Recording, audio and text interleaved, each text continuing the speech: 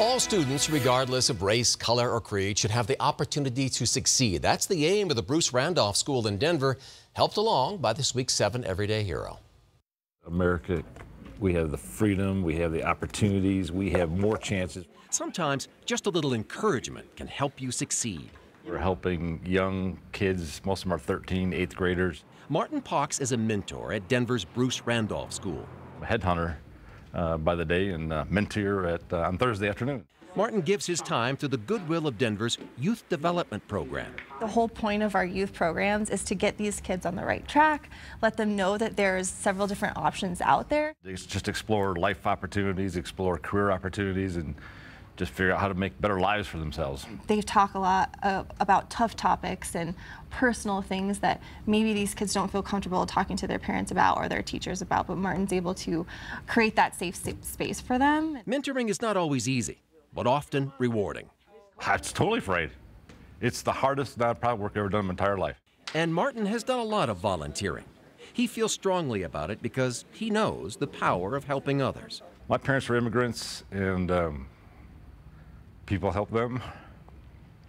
And now Martin is making a difference. He brings leadership, he bring brings positivity, he brings presence every single week. And that's what being a mentor is all about, being present, supportive, building confidence. Our students love being around him. Martin has helped me by like by changing my attitude because before I met Martin in this program, like I would always have arguments with people. Please help me think about what I want to do with my future. The day we visited, the group recognized Martin for his hard work. It's all about you guys, man. Yeah. And then it was our turn for a surprise.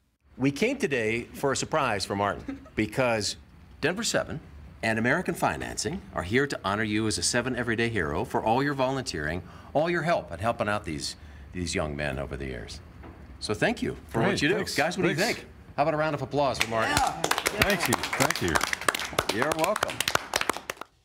To nominate a hero in your life, go to thedenverchannel.com, click on the community section, and you'll there you'll see the seven everyday heroes. All right, time now is 448, taking a live look outside. We're starting off a little bit wet out there, but it's kind of nice to finally see some moisture here in Colorado, Lisa. I felt a little safer. I drove my What are you giggling about over there? Moisture. You moist. It's my favorite word. Always It's my making favorite. fun of how I talk. I, just a warning to everybody here at work. I drove my husband's truck in today. Oh, go. Yeah. Picked me up. It was like The she last was, time this happened, how many cars did you Yeah. take Just out? One. It It's like a big truck, but, But I felt safer on the road is what I'm trying to say. I Oh. didn't. I sure didn't.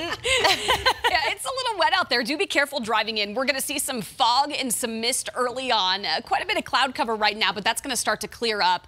50s early on, 70s again this afternoon, and we've got a chance for a few more thunderstorms. Uh, we'll see 70s, it looks like, almost all week long. Friday, it's going to get a little bit hotter. I'll show you that coming up, uh, but more storms expected, and that's going to happen pretty much every afternoon. As it gets warmer by the end of the week, that's going to uh, continue through the weekend, so we've got a pretty nice trend for the weekend. Right now, though, there's downtown. You can just barely make it out right now with some of the lower lying cloud cover. Uh, temperatures right now in the 50s, so it's kind of a cool and soggy start. Fort Collins, you're at 55. Greeley right now 56, and in the Springs it's 58. So it's a mild start, a little cooler than where we were at the same time yesterday. Now, when you look at the risk for severe weather today, we've got this little area here in green under a marginal risk. So it is going to include spots like Castle Rock, north up to Fort Collins. We'll get thunderstorms developing by mid-afternoon. You'll see that timing-wise this morning. Skies clearing out after some of the light drizzle and rain that we had this morning. We'll get more of a clear sky, mix of sun and clouds by about 9 o'clock, and we should be in the low 60s by that point. So still pretty nice through early morning. We'll tack on another 10 degrees by noon. So Denver's at about 71 by 12. Fort Collins, you're in the upper 60s. And in Aurora, 72 by lunch. Then right around 2 to 4 o'clock is when we'll see a few thunderstorms develop. And I think most of the activity that we'll see will be north of Denver.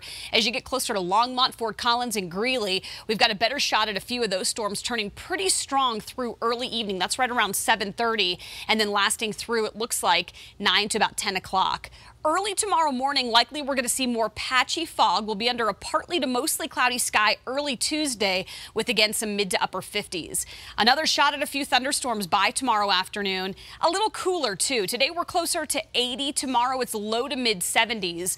Things will gradually start to dry out a bit more. In fact, by Thursday, most of the storms that we're going to see, those will be pretty isolated in the afternoon. And then on Friday, it gets quite a bit warmer. So we're back in the 80s by Friday, and that's going to last through Saturday. It does look cooler, Jace, by Sunday, but this seven day forecast a little better than that long, long Oh, string yeah. of 90s we had. You're not kidding. We have a good drive going on, although it is going to be very wet and foggy in some spots. Look at the drive here at Lookout Mountain. You can almost see uh, I-70 down there. You can see the headlights for the folks that are driving, but the limited visibility could be a bit of a dangerous issue for you. Same thing south into Castle Rock, so be mindful of that. Heading out to DIA, this is I-70 out by 225, and you can also see maybe a little bit of the fog out here. I haven't heard of any significant flight delays, but there could be because of the weather here this morning at the airport. Take a look at drive downtown. Now, we do still have that restriction on the northbound side of Lincoln Street, right at 2nd Avenue. Also, some of the streets right off of here, right by Sherman and 3rd and 4th. They're all still restricted for that police activity that happened earlier.